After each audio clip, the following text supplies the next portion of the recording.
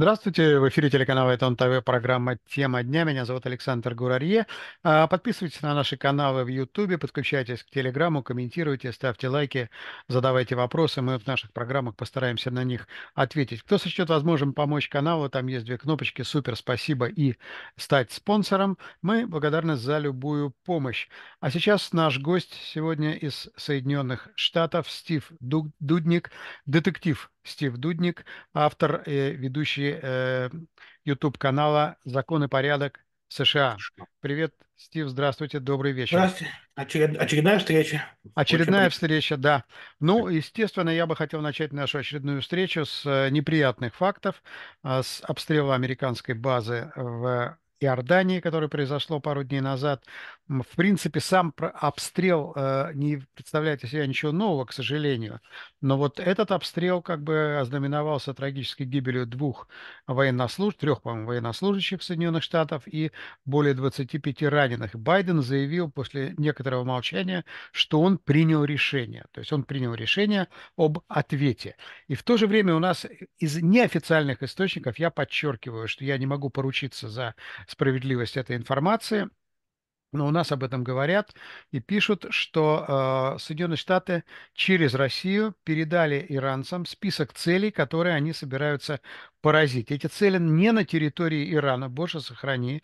Это территория Ирака, Сирии, то есть там, где находятся проиранские милиции. Сейчас эти проиранские милиции э, с бешеной скоростью покидают свои, так сказать, позиции, прячутся по норам для того, чтобы там никого случайно не зашибло. А что говорят в Америке об этом и готовы ли американцы к решительным действиям? А, ну, во-первых, давай мы начнем с того, что а, американцы сейчас находятся в очень интересной ситуации. А левое крыло демократической партии, а, с такие у нас такая конгрессвумен есть Ильхама Омар. Кстати, она сомалийка, чтобы ты понимал. И она очень поддерживает Сомали, и она практически антиизраильская, антиеврейский человек и, и антиамериканка, как ни странно. Она, она заявляла недавно, что такое было 11 сентября, какие-то мужики на кого-то напали. Так вот, она и ее друзья из левого крыла, такого экстремистского левого крыла демократической партии, они давят на Байдена очень сильно. И вплоть до того, что они 30 сенаторов демократических, не республиканских, присылают открытое письмо и заставляют Байдена остановить все военные действия и в Израиле, и с хусидами, и с Ираном. И буквально они на Байдена давят и требуют, чтобы это все проходило через Конгресс. И понятно, что Конгресс это не, все это не пропустит. Поэтому а, ситуация патовая. По идее, Байден должен ответить. Как он ответит, никто не понимает, потому что сил у нас не очень много. Как бы ни говорили про эту мощь, эта мощь уже провозрастена на Украине, сейчас она в Израиле, у нас еще китайская, которая сдерживает корейская. Поэтому я, я не знаю, действительно, и не думаю, что Байден как-то будет резко отвечать, но какой-то ответ они должны сделать. И поэтому, да, действительно, я, ну, насл... я по пустым слышу... сараям пострелять, да? Да, я слышу такую новость, что такая ходит в кулуарах, что вроде бы удар будет, но он будет безобиден.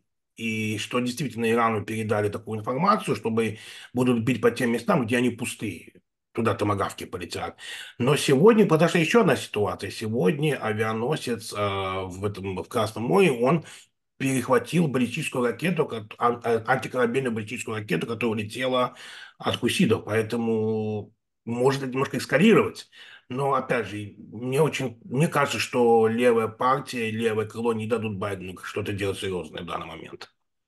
И, с другой стороны, давит республиканцы очень сильно. Да, но республиканцы давят, ведь э, Байден таким образом себя подставляет. Он и так-то, в общем-то, в невыгодном свете. Кличка Слиппи Джо от него никуда не делась, да, и для предвыборной гонки это не очень хорошо. И тут он сейчас демонстрирует такую мягкость, и потом, ну, все-таки погибли американские солдаты. Это не, э, не что-то там, а реальная, реальная угроза.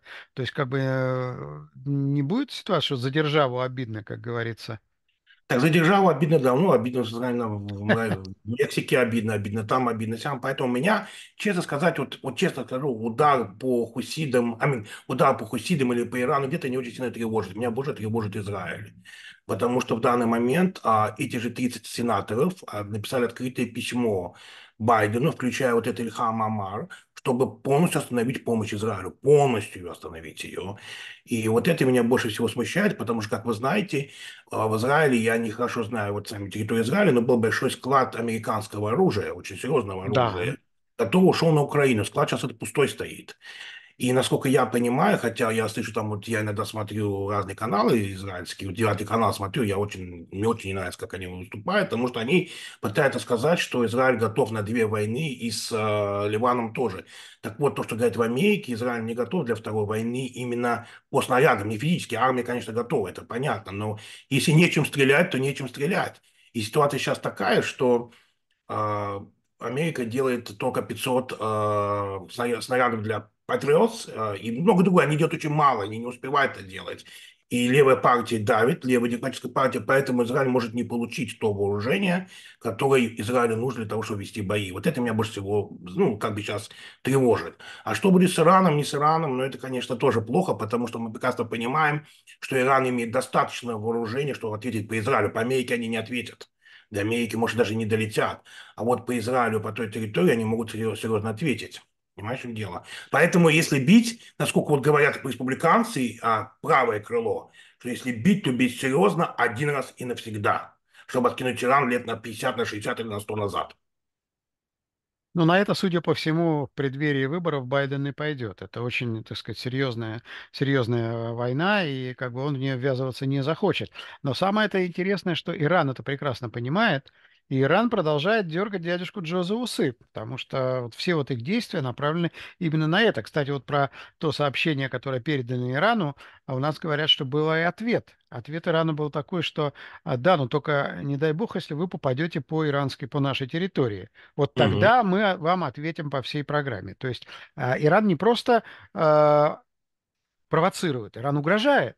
То есть ну, ты, я не знаю, в какие годы... Ну, ты... Северная Корея тоже угрожала много Соединенных Штатов Америки, но это не значит, что... Конечно, Иран... А что Иран еще будет делать? Конечно, Иран будет угрожать. Что ему сейчас остается делать?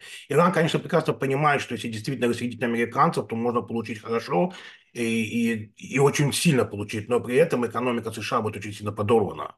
Мы, ну, мы, не можем, ну, мы не можем тянуть там 5-6 войн одновременно, что сейчас и происходит. Но что делать, демократи... что делать сейчас кабинет Байдена – они начинают давить на левых э, сенаторов потихонечку и открывать против них уголовные дела. Демократы против демократов. И вот вчера на одной из сенатора из демократической партии, Кори Буш, открыли уголовное дело за федеральное, а, за, за, за растрат средств предвыборных на личную охрану. Это как раз та вот самая а, сенаторша, которая поддерживала распуск полиции, поддерживала, что некоторые города должны отказаться от полиции, поддерживала Black Lives Matter, которые даже были громить города, и поддерживала антисемитские и, и палестинские протесты против Израиля, против Израиля, против евреев. И вот сейчас против нее открыли уголовное дело. Опять же, открыла кто? С подачи Байдена. Они пытаются как бы немножко припустить вот этих вот левых сенаторов, это, левую, это левое крыло, которое давит на кабинет Байдена. То есть э, веселье продолжается. Ну хорошо, давай тогда перейдем э, от Ирана к вашей северной границе, а, точнее не северной, а границе с Мексикой. То есть что происходит там? У нас, ну, я то, что смотришь по заголовкам, особенно если касается там восточноевропейских э, издательств, российских, то они пишут, что там уже идет гражданская война практически, да? То есть что, что происходит на самом деле? Действительно ли а, туда стягиваются федеральные войска тоже направляются, или это утка? Это утка, никакие федеральные войска не направляются. Что у нас происходит? Республиканцы продолжают свою борьбу за границей США и продвинулись дальше, чем вообще это надо было. Ну, для демократов они uh-huh. делают импичмент секретаря безопасности Александра Майорки за то, что он ничего не сделал на границе, за то, что он а, не соблюдает федеральные законы, и за то, что 3 или, там, или 4 миллиона нелегальных иммигрантов в год заходят сюда. А, конечно, Майорка и демократы кричат, что это политическое дело, что это все не так, что они все правильно делают, но в данный момент что происходит в Техасе? А Национальная гвардия Техаса не подпускает а, федеральных пограничников а, к границы, потому что что они делают? Они просто пропускают всех, и они закрыли эту границу. Также а, демократист, по-моему, а, не извиняюсь, Флоридская, Флоридская национальная гвардия туда отправилась. И, насколько я, если я не ошибаюсь, еще и Оклахома отправила две национальные гвардии в сторону Техаса для помощи. А, и Байден сейчас сидит и молчит, потому что он боится очень сильно ответить, потому что если они пошли туда или федеральные войска, или попытаются федерализировать национальную гвардию, то вот это может привести к большим столкновениям с э, республиканскими штатами. И То есть демократам это очень не понравится. Федерализировать э, Национальную гвардию, это, насколько я знаю, по Конституции, значит, Национальная гвардия полностью принадлежит и подчиняется губернаторам, но может быть объявлена президентом мобилизация. То есть если э, будет объявлена мобилизация, то они по- переподчиняются федеральному центру, правильно? Не совсем так. Во-первых, а, смотрите, Национальная гвардия, она получает зарплату от Пентагона. Да. Вот. Поэтому а, вот это большая проблема. Они могут остановить выплату, остановить выплату зарплат А это законно? Как это остановить Ну, у нас, у нас, у нас уже такого нет в Америке закона, не закона. Если видите, у нас все незаконно. Конституцию не соблюдает практически никто. Даже и республиканцы, и демократы. У нас же есть решение Верховного суда, чтобы Техас отошел, отозвал Национальную гвардию и пустил пограничников. Техас не подчинился федеральному, ну, федера- федеральному суду. Поэтому здесь закон и закон, они могут действительно остановить. Но при этом сам Техас может начать вы- выплачивать зарплату, и другие штаты выплачивать зарплату своей национальной гвардии. Да, президент может, как вот когда это было в Вашингтоне, вот когда они вызывали национальную гвардию, да, президент может призвать национальную гвардию, но с разрешения губернатора. Губернатор может не дать такого разрешения, национальная гвардия никуда не пойдет. Поэтому очень интересная ситуация, понимаете, очень интересная. И посмотрим, что, посмотрим, что будет дальше. Ну, а пока что это доходит все только до, так сказать, словесных перепалок, то есть вот э, федералы на границе и Национальная гвардия, то есть до серьезного противостояния не дошло. До серьезного нет, но а, федеральные пограничники э, блокируются, им не дают э, охранять границу, потому что Техас говорит, что если мы опять вас пустим назад, вы опять откроете границу, люди пойдут. И что происходит? Вот, ну, нас сейчас видите, сейчас, я, я, я даже вам прочитаю, это очень интересная вещь. А, сейчас, секундочку, я специально для вас, специально, они хотят что сделать? Они хотят, чтобы новый закон был, что президент, дать президенту, чтобы президент имел чрезвычайные полномочия по закрытию границ и открытию ее.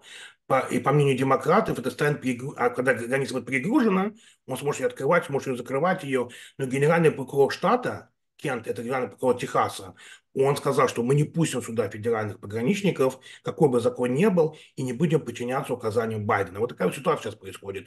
Но это только, конечно, пока на словах. И, ну, это и на словах, и, конечно, э, штат не пускает их. Но таких прямых столкновений, кто бы поехал, пришла туда армия или что такого нету. Слава богу, пока еще до этого еще не дошло. Я надеюсь, что до этого не дойдет. Потому что будут проблемы. Но, кстати, у нас новая ситуация была вчера а, сомалийские, а ну не только сомалийские, а палестинские а, мусульмане, они в Калифорнии а, попытались атаковать дом Нэнси Пелоси. И Ага, когда, она- когда она пыталась выехать из дома, а, они переградили дорогу на ее драйвее, на ее дороге к дому. И Нэнси Пелоси вступила с ними чуть не, не в схватку. Она кричала им, валите в свой, свой Китай. Там, видно, были какие-то узкоглазые, я не знаю. Вот, они кричали, что она доктор Холокост так. и что она должна остановить э, помощь Израилю и все такое остальное. Поэтому Но она же сейчас, секундочку, она же сейчас не, не лидер парламента, она же не, не лидер э, Конгресса, она же просто сейчас э, парламентарий обычный. Почему она Она должна не, она- остановить? А потому что она, от того, что она не лидер, она имеет очень высокий как бы, уважение среди демократов, и она Мгм. имеет еще очень сильное влияние. Это вообще такая мафия, я считаю, что вообще такая мафиозная структура. Я вообще всегда раньше думал, что только семья Клинтонов это большие мафиозники. Оказалось, они не такие большие, как все остальные там, как, э, семья Байденов и Нэнси Пелоси, потому что Нэнси Пелоси, если мы будем о ней говорить, там очень много долго можно чего рассказать, но очень много криминала, и включая отмывание денег, и ее муж он а, торг- торго- торговал на, на стак-маркетах и скупал, и скупал ам, акции по внутренней информации через Нэнси Пелоси. Там очень много интересных вещей. И всех можно, понимаете, и всех можно посадить уже давно. Они, по идее, нарушили все закон. И, и, и то, что семья Байденов и ее, его сына не нарушили законы федеральные, и много чего. Просто их не трогают почему-то. Трогают Трампа. Понимаешь, поэтому... Ну хорошо, а Трамп придет, он их тронет? А, вы знаете, вот этого они и боятся, что во втором сроке Трампа будет нечего терять, и очень многие люди э, могут попасть в тюрьму. Очень многие люди. И поэтому они боятся Трампа, и они хотят Трампа допускать до, до выборов. Вот так вот. Стив, я вот хотел э, задать вопрос, который, в общем-то, я задавал э, а, определенным э, комментаторам, в том числе американским. Я не понимаю, а почему э, Байден, почему администрация Байдена э, за то, чтобы открыть границы? Почему они не хотят закрывать границы и э, понимая, что они тем самым нарушают закон и так далее, нарушают? Объясни, что происходит. Они не почему хотят... демократы да, а республиканцы против? В чем фишка? А, потому что они не просто хотят открыть границы, все вот эти вот нелегалы, которые зашли, у нас где-то 13 миллионов, они хотят им сделать амнистию и дать документы. И, и после того, что дать документы, быстро выдать им гражданство. И вот они имеют 13 миллионов избирателей. Понятно, что эти люди потом будут голосовать за кого? За демократов. Демократы так пытаются переломить, э, потому что большинство населения, в общем-то, они более консервативная, консервативная страна.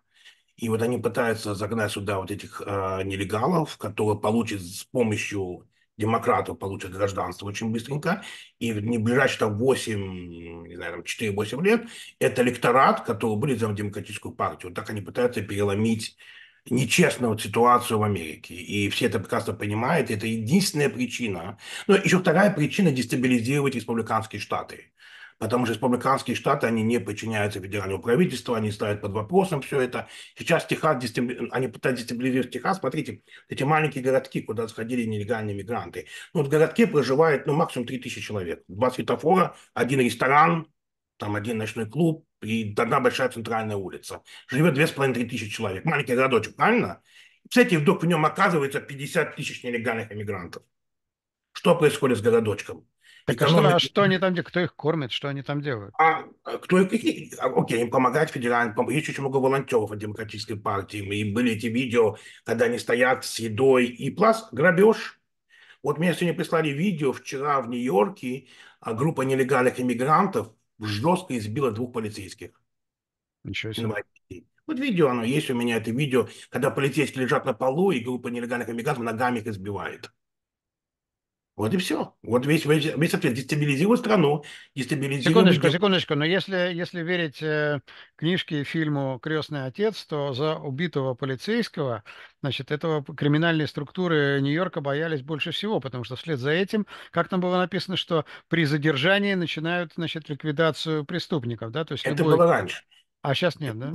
Это было раньше. Сейчас полицейские боятся, и мы говорим про демократические, мы не говорим про республиканские, мы говорим про демократические штаты. Полицейские боятся, потому что они не защищены. Я могу вам сказать такую ситуацию, что в полиции Нью-Йорка, они там что они пытаются изменить, если полицейский арестовал человека, человек этим недоволен, я, по-моему, рассказывал уже об этом вам, mm. человек этим недоволен, то его адвокат имеет право под, потребовать дело полицейского. И, в это, и потом все полностью, от его адреса до всей-всей информации. И теперь и были профсоюзы полицейских, чтобы и профсоюзы защищали полицейского. А сейчас они пытаются или уже даже сделать, что полицейский должен защищать себя сам а защищать себя сам, значит, нужно нанимать адвокатов, это огромные деньги, это больше, чем полицейский зарабатывает.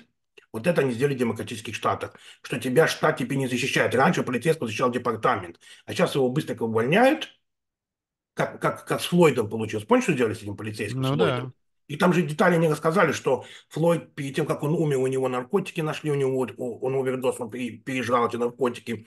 А что он до этого был грабителем, он до этого женщине беременный пистолет поставил. Он вообще должен был сидеть в тюрьме априори. И когда приехали полицейские, когда он деньги фальшивые в магазине давал, приехали полицейские, то этот Флойд, он два метра рост, он здоровый бык, он с ними драться начал там. Никто об этом не говорил. И когда этого полицейского судили, да, там, конечно, какую-то силу он применил, может, не совсем правильную силу. Может, того полицейского надо было уволить даже, возможно. Но они сделали над ним судилище, они судили в том штате, где ненавидят полицейских, а жюри же у нас неприкосновенное, по идее, жюри его судило. На улице стояла толпа, которая рвала это здание, и жюри понимала. И они знали всех членов жюри в лицо. Жюри понимал, что если они его не обвинят, они даже на улицу не выйдут. Их разорвут на улице. А некоторые демократические сенаторы, включая вот эту женщину, которая, которая шутит, это Буш, это, это Кори Буш, еще, они стояли на улице, и подгоняющие Нэнси Пелоси, они все эти стояли на улице, именно сенаторы. И говорили толпе, что толпа должна не подчиниться, и должна толпа взять силы. Ну, вот так они подстрекали толпу. А сейчас обвиняют Трампа, что Трамп кого-то... Э, ну, вот они это делали. Поэтому бедный судья и бедные вот эти вот э, присяжные, они быстренько обвинили во всех грехах этого полицейского, лишь бы только их не тронули. По идее, этого полицейского должны были вывести в другой штат какой-то, даже пускай республиканский штат, и там его судить его. Но то, что они сделали, это был полный беспредел. Вот и все. Поэтому полицейские боятся. Поэтому вот сейчас группа э, нелегалов избила полицейских в Нью-Йорке. Да, Понимаете? это, конечно, из ряда вот такая ситуация, не очень приятно. Конечно, я, конечно, можно красиво сидеть из Америки и рассказывать, что у нас все хорошо, все классно. Я считаю, так делают только враги. Потому что человек, который любит свою страну и который видит то, что в стране происходит, он должен об этом говорить, он должен доносить, чтобы люди это слышали, чтобы люди пытались что-то поменять. А не просто как то страус, который голову в песок засунул, меня никто не видит, я никого не вижу. К сожалению, у нас в стране очень большая проблема. И, кстати, с этими нелегальными иммигрантами они подорвали, демократы сами себя подорвали. Они сделали города-убежища, но они не ожидали, что Техас и Флорида так поступят. Техас и Флорида позагрузят этих нелегалов в автобусы и отправляют в демократические штаты. У нас, у нас, а, у нас недавно отправили, по-моему, 8 автобусов прямо к дому Камала Харрис. Они там высадили их.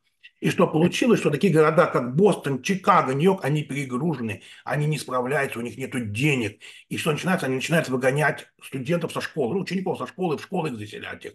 Они начинают из гостиниц выгонять посетителей, в гостинице в Манхэттене их заселять. И что получается, даже сейчас в Манхэттене, если появиться в Манхэттене, там вот эти большие огромные гостиницы, там живут, где раньше номера стоили по 1000 долларов в ночь. 500, ну это, сейчас там живут нелегалы, наркотики, а шприцы кругом валяются, криминал, и тебя могут ограбить в центре Манхэттена, и полиция даже не подойдет. Может, они теперь они плачут, теперь они плачут, а губернатор Техаса, мэр, мэр Нью-Йорка, а губернатор Иллинойса, они все плачут и говорят, заберите от нас этих нелегалов, мы не можем уже их кормить их. А куда их забрать? Они же сами их позвали их. И они наезжают на Флориду, наезжают на Техас, чтобы Техас и Флорида их не выгоняли отсюда. А Техас и Флорида сказал, они нам здесь не нужны, потому что это ваша проблема, и у нас во Флориде такие законы сейчас новые, что если ты помогаешь нелегальному мигранту, то ты можешь попасть под уголовное наказание. И им разрешили арестовывать нелегальных иммигрантов, разрешили а, детей в школы не брать, э, и в Техасе то же самое, не лечить, потому что все это перегружает, перегружает медицину тоже. Если, допустим, если я зашел в госпиталь, а, и мне надо сделать какую-то процедуру, у меня даже медицинская страховка, за которую плачу огромное количество денег, и плюс я еще должен платить за это. А приходит нелегал, и он за это ничего не платит, потому что за это плачу я. Потому что госпиталь весит это меньше не меня, но других американцев. Вот и все. Скажи, а это вот проблема с э, нелегалами, она вот именно сейчас возникла там или в течение там последнего года? А чему раньше они не шли через границу? Почему именно а. сейчас такое вообще внимание к этому вопросу? Потому что Трамп, при Трампе был закон, э, э, значит, э, если ты приехал в Мексику, ты хочешь из Мексику пройти, ты должен сначала в Мексике попросить политическое убежище.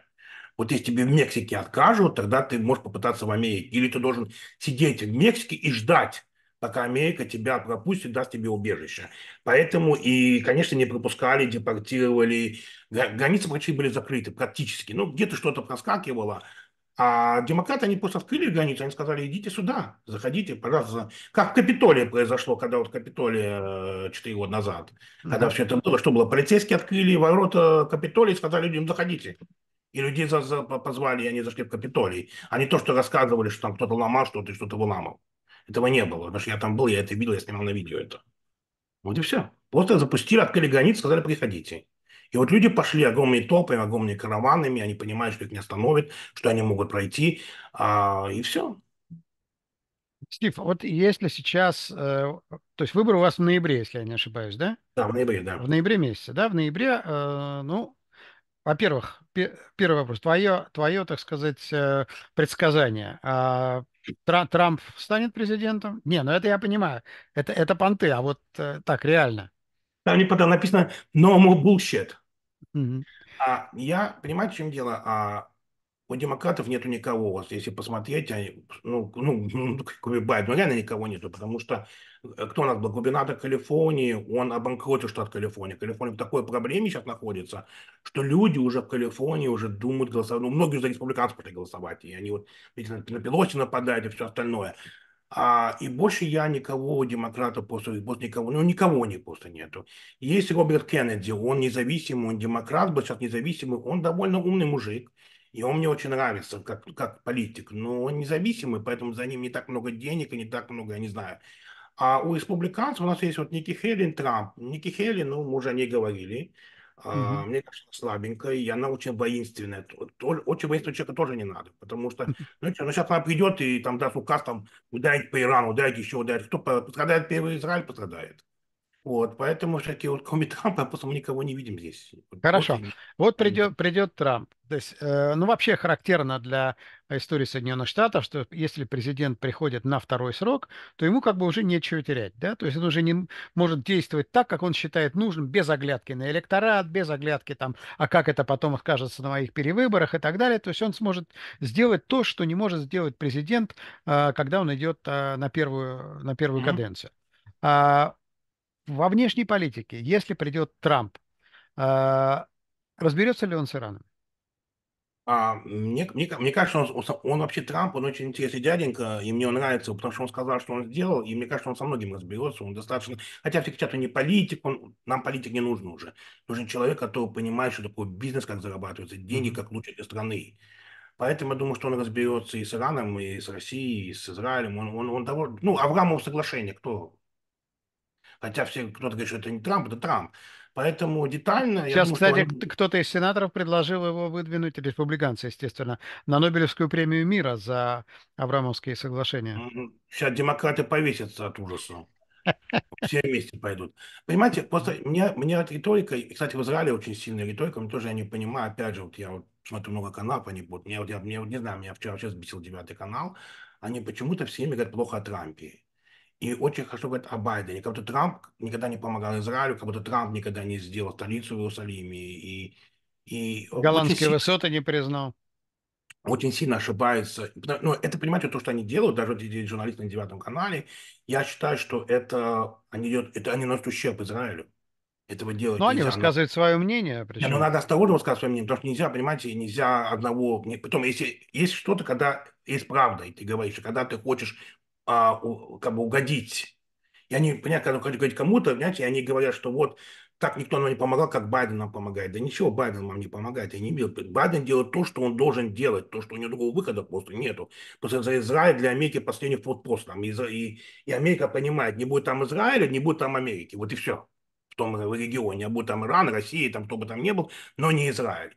Вот и все. Но то, что происходит сейчас, э, для, я говорю, для Израиля это будет очень тяжело. Поэтому надо немножко думать, что ты говоришь, потому что то же самое Трамп а, в ноябре будет президентом Америки. И как себя поведут те же самые журналисты украинские, типа Гордона, как себя поведет Зеленский, который оскорблял Трампа, ну, некрасиво. Как ты потом с этим человеком должен договариваться? И вот, к а, сожалению, а Зеленский оскорблял Трампа, я что-то ну, такого он очень некрасиво вел по отношению к Трампу, когда Трамп сказал, что он остановит войну, Зеленский там начал на него там так, не очень. Это первое. Но потом не забывайте, что когда, хотя людям это не нравится, когда были выборы, вы же помните, а, Байден уволил генерального прокурора Украины. Притом он сделал это в прямом эфире. Он сказал, он признал, никто же он сам признал это. Почему? Потому что генеральный прокурор Украины проводил расследование компании «Буризма» и отмывания денег семейством э, Байденов. И, и все. И когда Трамп обратился к Зеленскому, был телефонный разговор, и он попросил его две вещи. Он попросил его открыть новое расследование, назначить прокурора, что честно сделать, и предоставить документ американскому конгрессу. На что Зеленский это отказался делать. И мало того, он еще, по-моему, сообщил, что на него давил Трамп, типа, что он помощи не даст, что-то еще. А когда Билл Клинтон обрезал помощь а, Израилю, такие все другие, и Обамы, и все остальные, все молчали. И получилось так, что если, если бы они выбили, поэтому Байден попал в Белый дом. Потому что не было этого скандала коррупции, не было этих документов, не было этого расследования.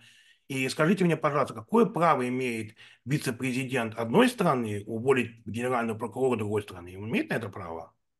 Не, ну не буквально уволить, а, так сказать, способствовать Ну, увольнению. как Что- посмотреть, дать, он Вот. дал конкретное указание, и они там все перепугались, и все, и сделали.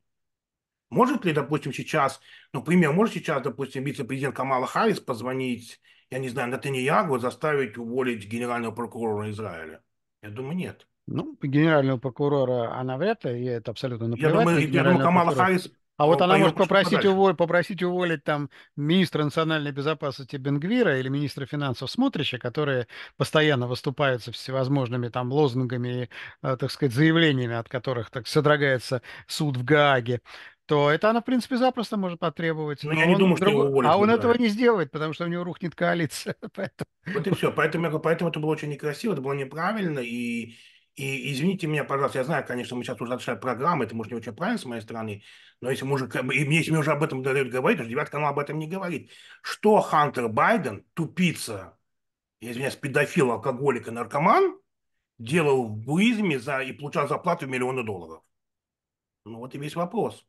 Или когда э, крутые бизнесмены мира покупают его картины по 10 миллионов, по 5 миллионов долларов, он никогда художником не был. Все понимают, что это прямые взятки папе через эти картины. Ну, поэтому, но почему-то все об этом молчат, все это прикрывают, и, и то же самое. Поэтому девятому каналу, считаю, надо быть поосторожнее, когда они начинают ругать Ты Трампа. знаешь, И недавно какой скандал в Питере был?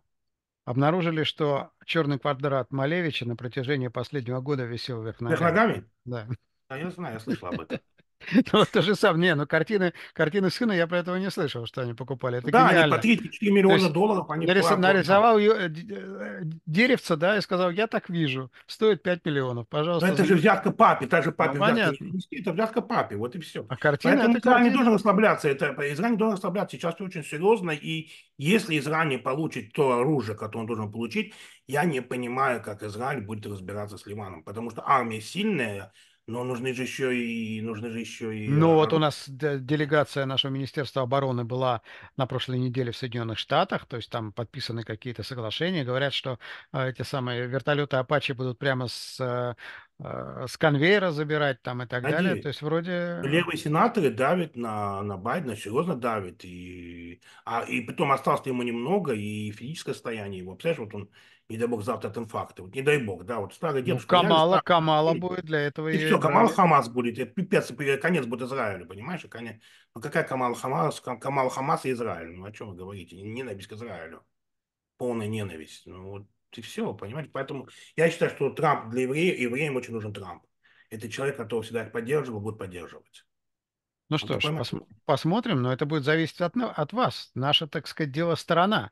Мы наблюдаем со стороны, а вот вы там, вот, как вы проголосуете, как вы проагитируете, вот так и будет, очевидно. И еще идет разговор, что в 2024-2025 году должна будет начаться широкомасштабная гражданская война в Мексике. Тут тоже Ага. все И эта война приобретет характер национально-освободительной войны. И есть угроза, что если в Мексике начнется такая война, то очень быстро экспорт революции перекинет на всю материковую Латинскую Америку. Я, кроме, конечно, кроме Венесуэлы. Вот так вот. И тогда не да, будет очень опасно с границей Мексики, и будет большая проблема будет. А в Мексике тоже там все просто. Знаете, еще война под, под, под брюшье Америки будет. Это... Да, это будет, это будет интересно. Стив, спасибо. Спасибо большое. Стив Дудник, э, детектив Стив Дудник, автор и ведущий э, YouTube-канала «Закон и порядок в Соединенных Штатах». Подписывайтесь на этот канал, там Извините, очень интересно. Ну, как Извините. извините. Спасибо, что говорил. Я Правду говорить, так. Я правду говорю так. Вы говорить легко и думаете, я приятно, говорю. да. Знаете, как вы думаете, а я говорю, потому что люди думают и боятся говорить, а я говорю это. Ну, для того и приглашаем. Спасибо. Всего доброго. До свидания.